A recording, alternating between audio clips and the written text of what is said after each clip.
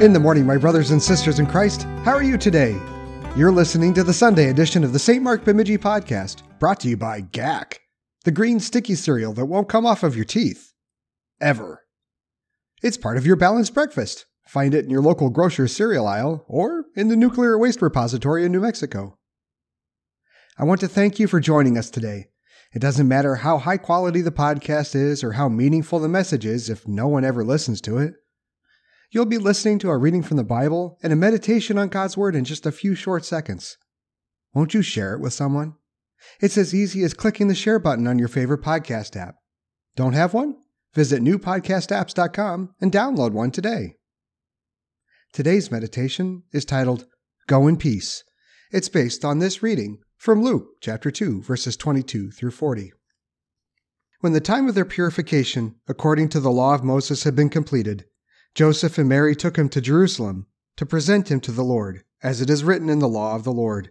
Every firstborn male is to be consecrated to the Lord, and to offer a sacrifice in keeping with what is said in the law of the Lord a pair of doves or two young pigeons.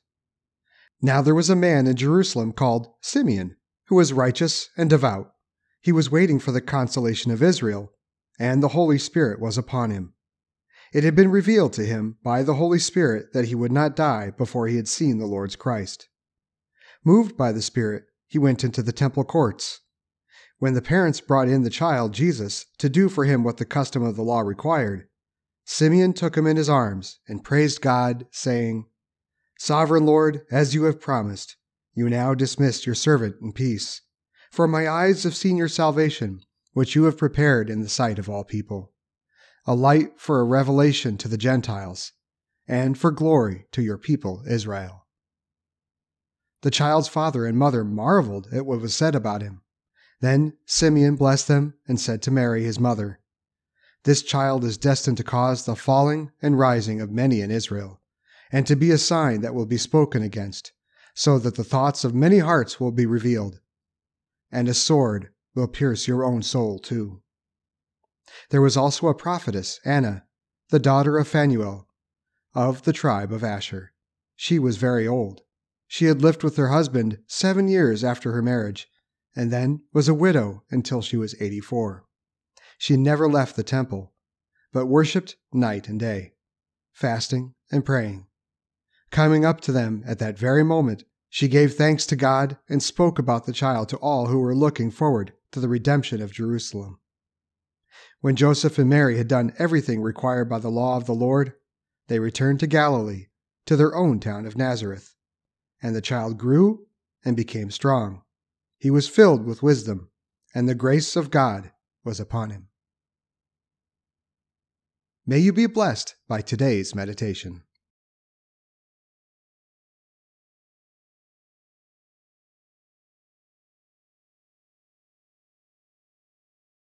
So we're at the end of another year.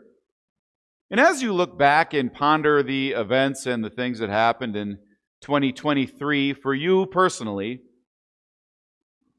are there any things that jump out at you as high moments? Maybe it was a birth of a child or a grandchild. Maybe you went on some big vacation Maybe there was a little baby in your family that got baptized. Maybe there was a wedding. Maybe there was a reunion of, uh, of friends that haven't seen each other for a long time. A high point. Something that just maybe for that brief flicker of a moment, the world seemed right. Evil was held in abeyance Everything was okay. A high point. Do you have a couple of those? Maybe just one? Maybe more? This morning in the Gospel according to Luke, we see this man who had gone through the ups and downs many years of life. And we see his high point. We see the, the moment that meant more to him than anything that had happened in his life. and how he must have reveled in that moment. There was a man in Jerusalem called Simeon who was righteous and devout. He was waiting for the consolation of Israel. And the Holy Spirit was on him. It had been revealed to him by the Holy Spirit that he would not die before he had seen the Lord's Messiah. We don't really know how old Simeon was, but presumably, since it says this, he was probably pretty old. I think, you know, if you ask people, you know, you see ads on TV or you talk to people, generally speaking, people do things, they exercise, they eat right, they do those sorts of things to live a long time or increase their lifespan. Simeon didn't have a choice. Why we might want a long life, what is the curse of that? The other side of that coin. Kind of get sick of living here, don't you? I visited a shut in here this past week, and that was something that she expressed to me. She's in her 90s, and she's about done with this. And I don't think at this point it would matter if she was in perfect health. Trials of one year, one decade after another bleed into the other one. Same, same story, different book, year in, year out. You lose friends, you lose neighbors. Sometimes even your own passions, the things that you love to do, become dull and stale. You want out. You want nothing more than just to be done, just to be at peace. Finished with this. No doubt, assuming Simeon was old, very old, he had seen and experienced many of these emotions. How many friends did uh, had left him through death? How many of his own passions had seemed dull or redundant at this point? He sings this emotional song of praise to show that he very well might have, uh, that, that, that he, he had felt this hurt, this pain deeply. What a moment he gets to hold Jesus, he gets to hold the Lord's Messiah in his arms. And it's, it's like God fulfills his promise to him. Here, here it is. And it's his ticket out. He's done. I've seen him. Here he is. Here's the consolation of Israel. When, when Isaiah lived, who lived 700 years beforehand, said, Comfort, comfort my people Israel, there he is, flesh and blood, in my arms. Truly, this was a, a high point for him, an answer to all the suffering and the sadness and the trials because of sin. So he lifts his song, his, his voice in song. Sovereign Lord, as you have promised, you may now dismiss your servant in peace. Christ incarnate, the Word of God, the, the, the, the Word of God, the promise of God made flesh in His arms. That's a truth that I think we are so close to on the regular? That the Word of God was made flesh? We all know John chapter 1, verse 1, at least I hope. In the, in the beginning was the Word, and the Word was God, and the Word was with God. And now that Word is with us. We know that truth. And it's often so close to us, and we hear it so often that we forget the wonder of it. You know, the God of Islam, for example, Allah, is, uh, is viewed by Muslims as all powerful, omnipotent, everywhere, all the time, many of the same things that we would attribute to God. But he is this overbearing force. He's not dependent on anyone. And when he looks down at us, we're kind of like measly little ants that run around. I saw this interview with a, with a Muslim man not all that long ago, and this is one of the things that he was struggling with as he was considering Christianity that the idea that God Himself would be dependent on a mother, be dependent upon a father, to be held in the arms of an old man. To virtually anybody else in the world, that's an impossible thought. And this is this truth is something that rivals the very miracle of our existence itself, that the Creator would become His creation. So, yes, Simeon sings this song of peace, and what a perfect line for anybody who holds Jesus in their arms. What God has done, what He has promised, that He has been faithful to His word, that He has made the impossible possible. You know, something that I'll, I'll admit, I like the new hymnal. Let me just put that out there. I do like the new hymnal. But one thing that I do miss is that at the end of the communion liturgy in the old hymnal, we always sang this song the Song of Simeon, right after communion when we held the Lord in our hands. Another miracle that confounds the mortal mind. But Jesus promised this to us, didn't he?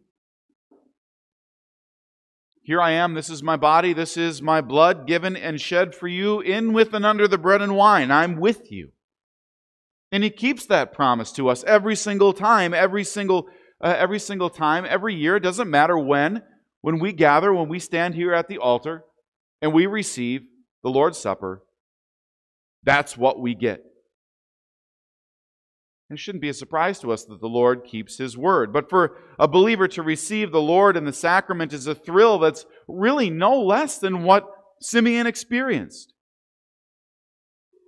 Like what the like like what when we receive it into our hands or or we we, we sip the wine, that's the peace of God full and free forgiveness.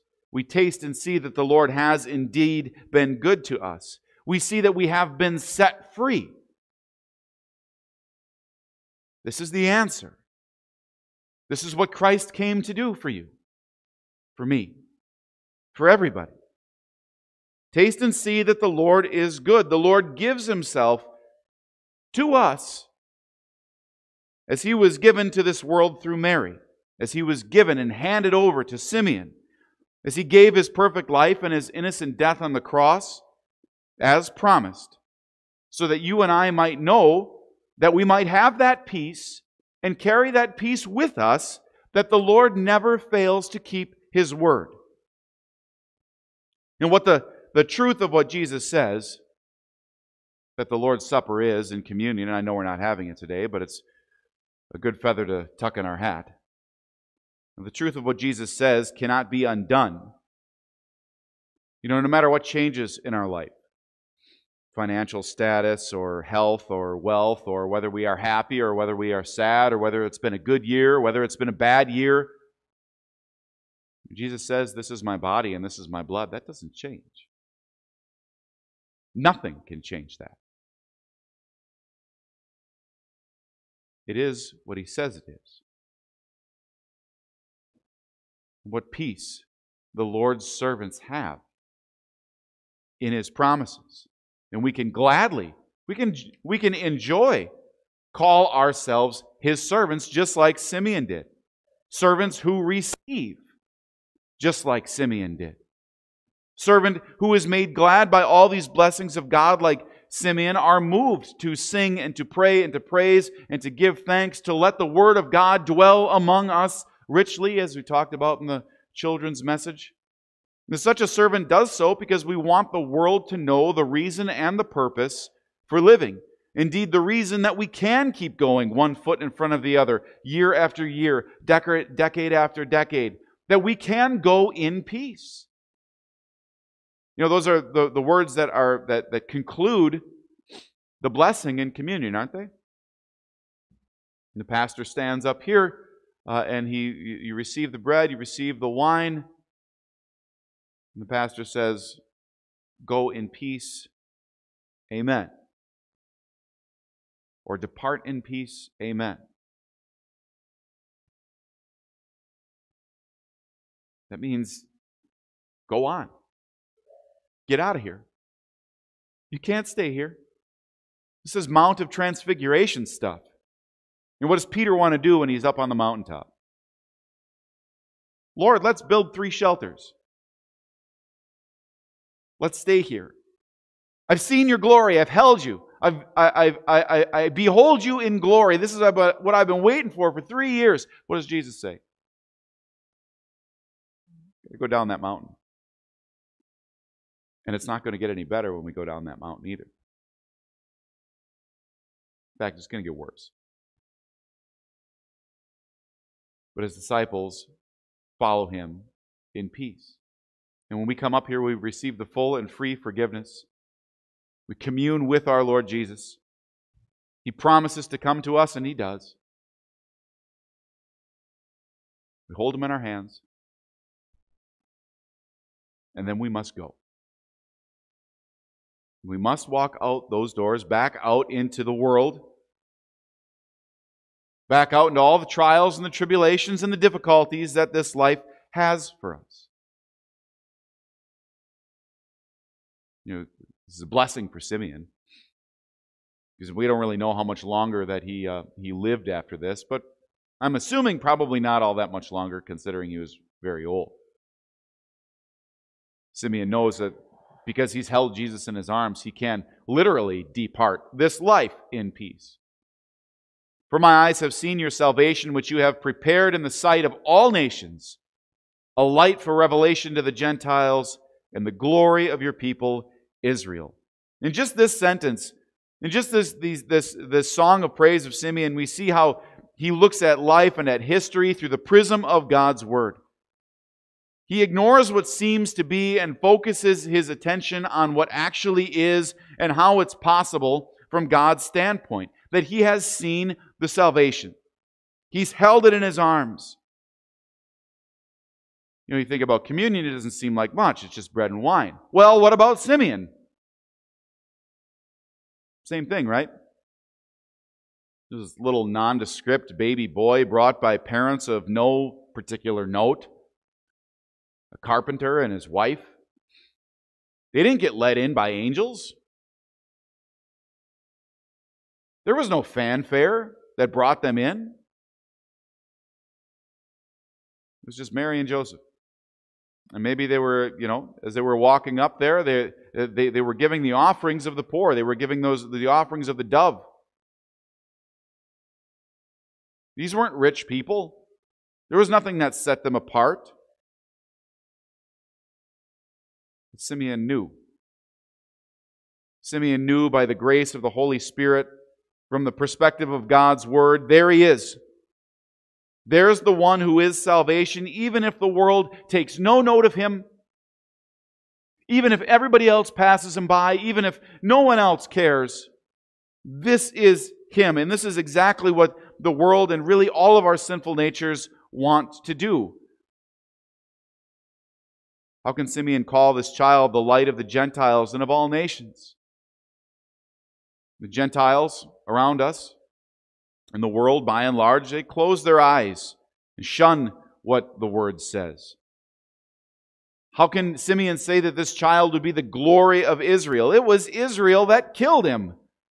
It was the chief priests and the teachers of the law that were supposed to be the ones that were their Israel shepherds, leading them in, in, in, in the, in the way uh, of the word. They had forgotten it. And now Simeon says these incredible things. It would put the exclamation point on what Simeon says as he says that, that, that he would be rejected by Gentiles, killed by Gentiles, killed by Jews. It would put the exclamation point on what Simeon says that he would cause such a divide in the rising of falling of many in Israel. And think of Mary. She hears these words. I couldn't wrap her mind around it, or maybe didn't even really want to think about it that in about 30 years or so, that a sword would pierce her heart. She watched her firstborn suffer and die. Let the world, let the sinful nature view him as they will. Let his own despise and reject him. The fact is that he is, nevertheless, the light of peace on earth, the only light possible for we who must perish.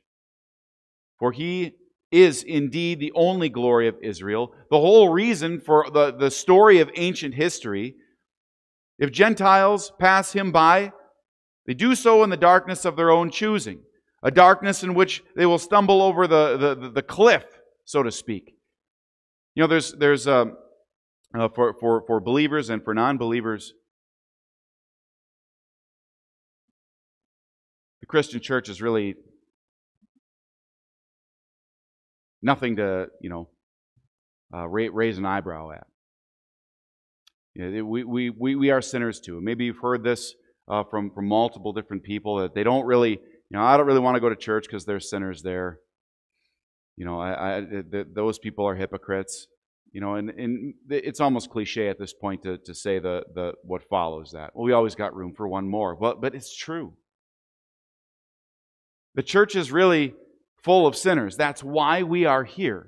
And I think that's something that the world forgets. What, what, what, what do people expect the church to be? Perfect people walking around? No, that healthy people don't go to a doctor. We're sinners. We need a Savior. And we need a Savior that we know is for us. If Jesus did come, with trumpet blasts, if he was led into the, the temple that day by angels, how would I know that he's for me? He might be for the rich guy down the street. He might be for the powerful, but how do I know he's for me? Here he is. He sheds his first drops of blood there at his circumcision. He's brought into this, this, this temple. He's held in the arms of Simeon.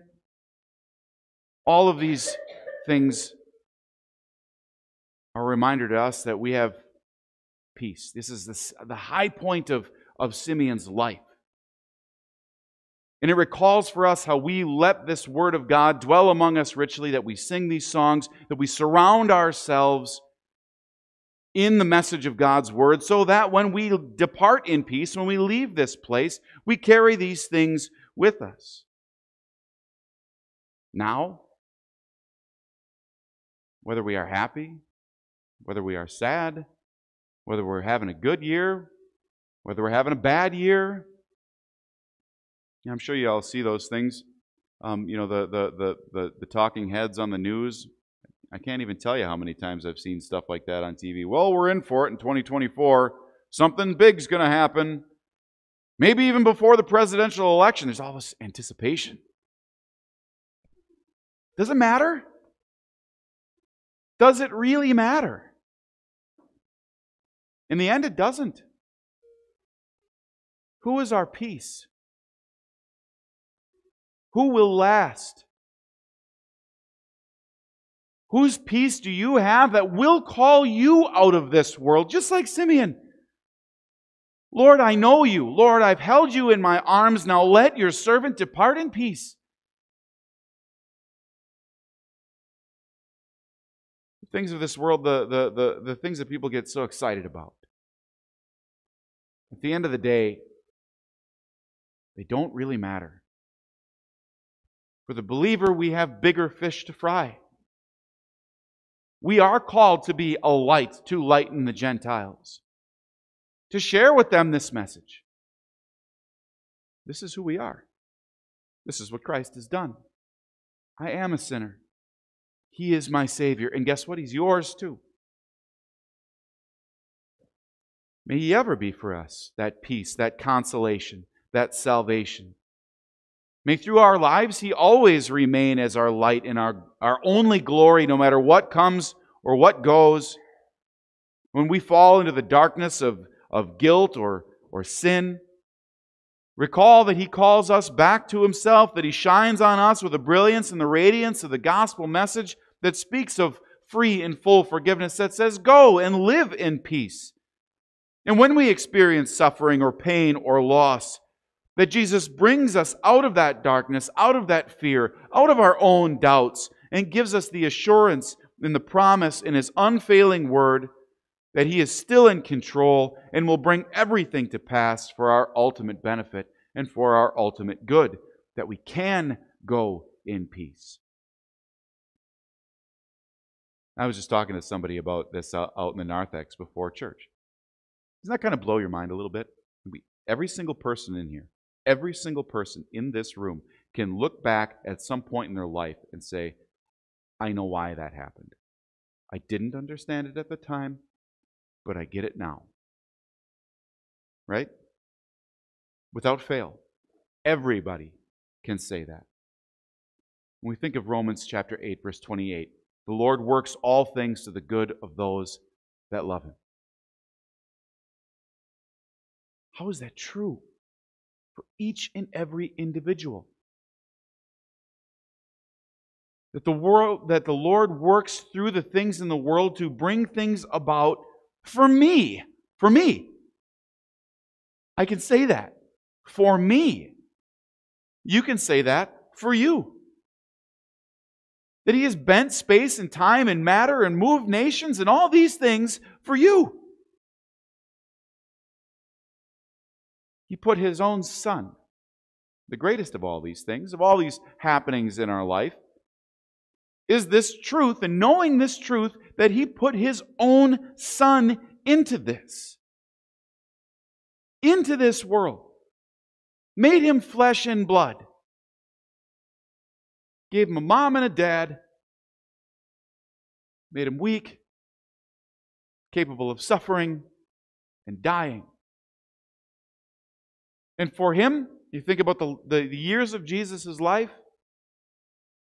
they didn't go smoothly, though he even was the Son of God.